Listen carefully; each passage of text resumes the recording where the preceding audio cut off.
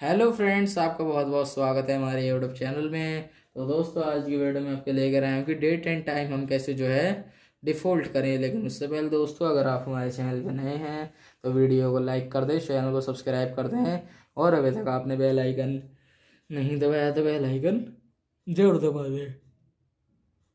चलिए दोस्तों, बिना किसी तरीके हम वीडियो स्टार्ट करते हैं। सबसे पहले आपको अपने फ़ोन की सेटिंग में जाना है। सेटिंग में जाने के बाद दोस्तों आपको सबसे नीचे जाना है।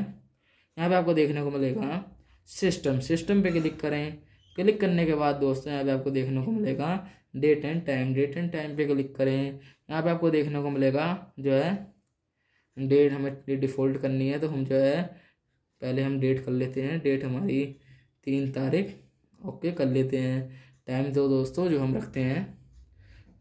दो पैंतालीस, ओके, कर देते हैं, जैसे दे सकते हैं।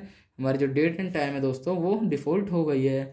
अगर आपको वीडियो पसंद आई हो तो वीडियो को लाइक कर दें चैनल को सब्सक्राइब कर दें।